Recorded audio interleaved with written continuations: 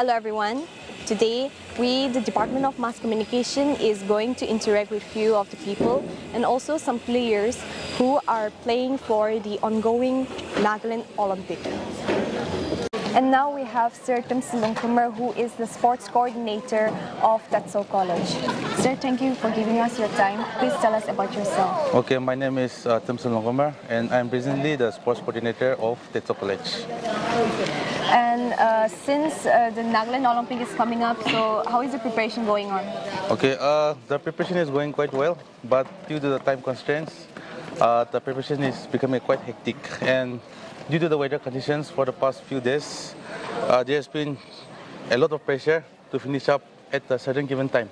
So I hope uh, we finish on the given time, and we are putting the synthetic synthetic flooring uh, at the basketball court, which will be the first in Naga, uh, Nagaland Olympics. The players will be playing at the synthetic court for this uh, the upcoming Nagaland Olympics and Paralympic Games. Well, that's a very good news for the athletes. So, do you have any message for the aspiring athletes? Uh, for the aspiring athletes, I think uh, hard work and dedication should be the key to become a premier athlete. Okay, thank you so okay, much. thank you. And now we have Sir Sinti.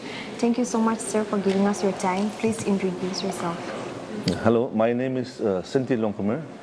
Uh, I am the executive member uh, of uh, Basketball Federation of India, and uh, I am also uh, the honorary secretary of uh, Nagaland Basketball Association, and also the president of Dimapur District Basketball Association.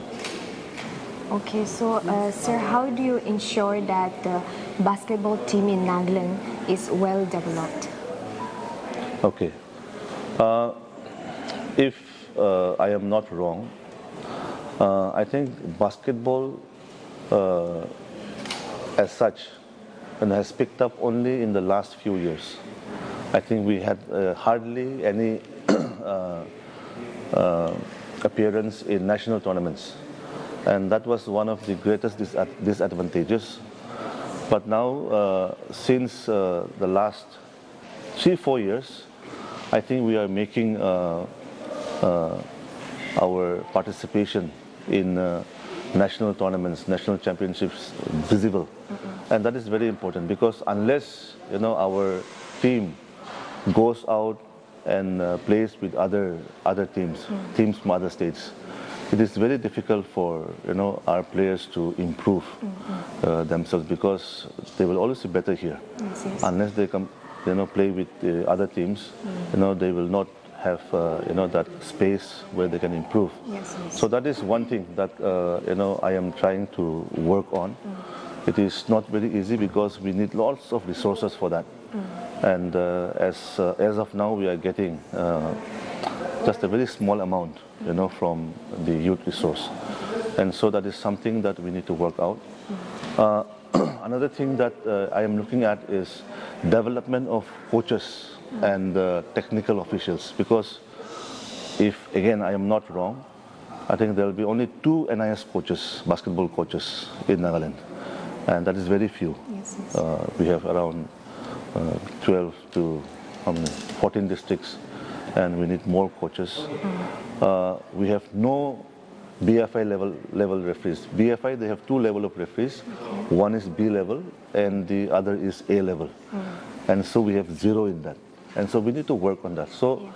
last year we sent uh, uh, two young young men for uh, referee exam. Hopefully, you know they will get through. I hope uh, this year when we have uh, the BFI executive meeting, I think uh, the announcements regarding this uh, uh, qualification of referees will be made. I hope, you know, our two names are there. Yes, yes. So that is the other other thing. Then we also need a lot of coaching camps. Uh, for example, uh, uh, we need uh, coaches from outside to come and then uh, train our, you know, young players. And to that end, you know, even now I am thinking about a coaching camp, maybe just before the Northeast Olympics uh, uh, next next month. Hopefully, you know, we can have four or five coaches from Nagaland and few few others from the other states to come here. And you know, uh, hopefully, you know, if BFI agrees, you know, they'll be trained by an uh, international coach, and so that is what we are working out on, and so hopefully this will work out. We need more visibility. Yes. Like uh, what you are doing now is very good for me and for basketball in Nagaland because people need to see that you know our players are playing basketball, and the administrators who are there, you know, at the uh, level of administration in basketball, you know, are also working, and so that's what you know uh, I want others to see, and people, if people see that you know we are playing basketball, we're organizing tournaments, then you know, young people will start taking up uh, this game. Yes, You know, already, you know, within these few years, you know, I can see that, you know, almost all the corners of Dimapur, you know, young people are starting to, you know, uh, uh, play basketball, and so that's a very uh, good trend, you know, that is coming up. Uh, another thing is uh, we need money Yes. we need corporates to come in. We need uh, sponsors to come in. We need even individual people to come up to you know help uh, Yes, the the young players and also the basketball administration so that you know we can organize tournaments, organize camps, you know send our uh, young players to play national tournaments. Yeah, yeah, yeah. So, uh, thank you so much for letting us know. Uh, I just want to ask you, what are your thoughts on basketball being accessible to all, regardless of gender and age? I think uh, you know this is uh, very important because even at the BFI level now uh, they are asking for more women referees.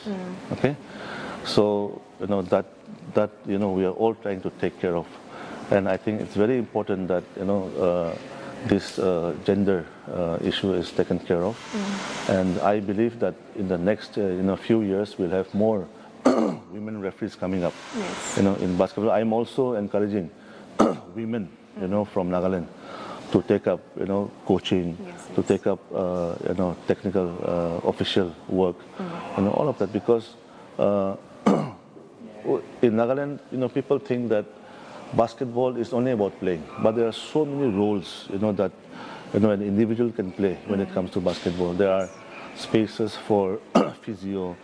Uh, now, games are becoming more scientific, and so we need, a, you know, uh, an analyst, data analyst.